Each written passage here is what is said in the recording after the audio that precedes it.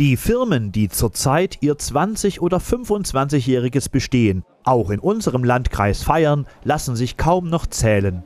Wenn ein Unternehmen dagegen auf 70 Jahre Geschichte zurückblickt, ist dies schon ein besonderes Ereignis. In der Lutherstadt Eisleben hatte EWS die Schuhfabrik am 21. August zu diesem Jubiläum eingeladen. Geschäftspartner, Freunde, Kollegen sowie zahlreiche Vertreter aus Politik und Wirtschaft waren dieser Einladung gefolgt, um EWS, einem der fünf führenden europäischen Hersteller im Spezialsicherheitsschuhbereich, zu gratulieren und ihre Anerkennung auszudrücken. Jörg Schlichting, Geschäftsführer der EWS Schuhfabrik, ging dann in seiner Rede besonders auf die Bedeutung des Slogan Made in Germany ein. In meinem Einladungsschreiben habe ich das Motto EWS Made in Lutherstadt Eisleben. Wir sind jetzt 70 Jahre und waren noch nie so jung wie heute gewählt.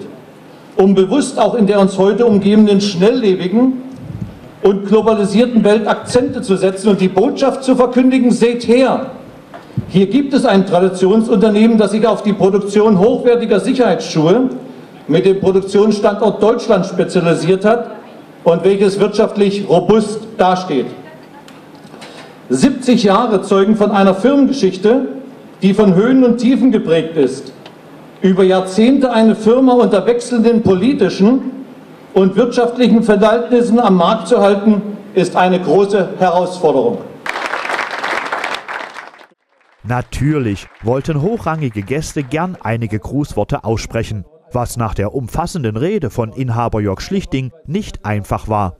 Jens Bullerjan, Finanzminister und stellvertretender Ministerpräsident von Sachsen-Anhalt, gab zum Ausdruck, wie wichtig es 2005 war, der Firma nach Insolvenz den Neustart unter Leitung von Jörg Schlichting zu ermöglichen. Und auch die Landrätin Frau Dr. Angelika Klein hatte ein paar kurze Grußworte vorbereitet. Es wird immer wieder gesagt, die EWS hat eine Nische besetzt. Das stimmt sicherlich einerseits, aber ich glaube andererseits nicht. Denn es ist ja keine Nische, in der irgendwelche exotischen Bedürfnisse befriedigt werden.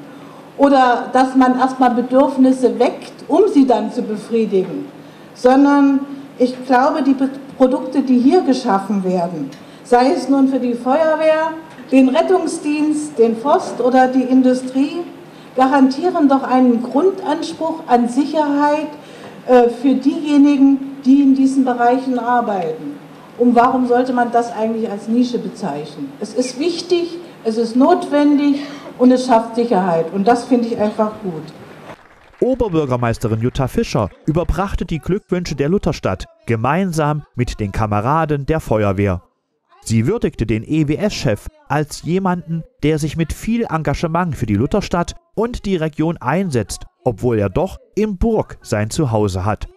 So ernannte sie Jörg Schlichting zum symbolischen Fackelträger der Stadt. Dieses Engagement für die Region zeigte sich auch wenig später im wahrsten Sinn des Wortes. Jörg Schlichting hatte das Kulturwerk MSH eingeladen und die Theaterleute zeigten den anwesenden Gästen einen Ausschnitt aus der aktuellen Inszenierung Gottes nah und Teufels Weib. Die Gäste konnten anschließend bei einem Rundgang durch die Fabrik hautnah die Fertigung eines Schuhs erleben. Dieses Angebot wurde gern angenommen, ist es doch nur selten möglich, Produktion mit laufenden Maschinen zu beobachten und dabei die Vielzahl der Arbeitsschritte zu bestaunen, die notwendig sind, damit aus zahlreichen Einzelteilen ein hochwertiger Sicherheitsschuh entsteht.